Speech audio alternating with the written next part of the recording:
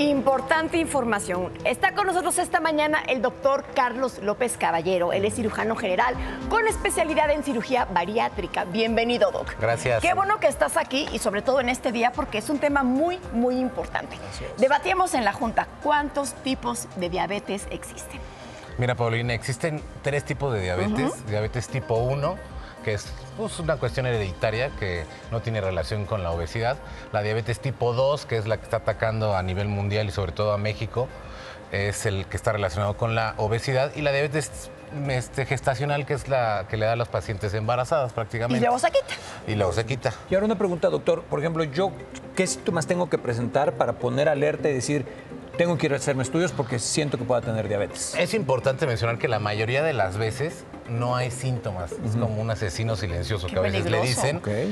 Pero pues, de los generales es hacer del baño muchas veces al día, o sea, en- en- de manera ex- excesiva, visión borrosa, cansancio, son como síntomas muy generales, por así decirlo. Por eso es importante mantener un chequeo con tu médico de confianza. Oiga, Doc, imagínese que ya fuimos al chequeo y lamentablemente padecemos diabetes. ¿Tiene cura? ¿Cuáles son los tratamientos? Mira, hay varios tipos de tratamientos. El principal y más efectivo y preventivo, y que todos podemos llegar a él, es hacer ejercicio y una dieta adecuada. El siguiente tratamiento, cuando ya hay eh, niveles altos de glucosa en sangre, se debe de dar medicamentos. Y actualmente, y pues con la cirugía bariátrica, que es el, pues, la estrella del tratamiento, como yo les digo, pero bueno, yo soy cirujano, es la, oye, y maniobra. buen vendedor. y buen vendedor. Y es la maniobra con mayor impacto para remisión de diabetes mellitus relacionada a la obesidad. No, o sea, no hay ningún tratamiento que se compare actualmente contra la cirugía bariátrica. Pero es una muy buena noticia porque ya Claro. hay una solución. Pero aquí la pregunta es, ¿a qué edad uno está más propenso de tener esta enfermedad?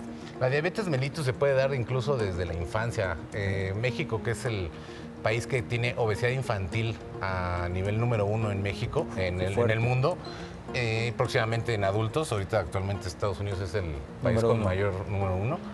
Pero puede ser desde la infancia la, la obesidad y la diabetes relacionada Oiga, Doc, y ahora sí, como diría mi madre, hay que prevenir. ¿Se puede prevenir? ¿Qué tendríamos que hacer para no padecer diabetes? Pues la- el principal factor de riesgo de diabetes, sobre todo en México, es, y el 80% de los casos, es obesidad. Entonces, tratar la obesidad desde niños, desde la escuela, desde una dieta adecuada, implementar este, programas de ejercicio regular, o sea, prácticamente desde casa, escuela, desde la infancia, que es donde estamos teniendo mayor problema porque somos el número uno con obesidad infantil a nivel mundial. Eh, Está, está fortísimo. Entonces, Gani desde abajo. y ya- Y llevamos muchos años siendo el, lo peor es que llevamos muchos años siendo el número uno, Sí. ¿verdad?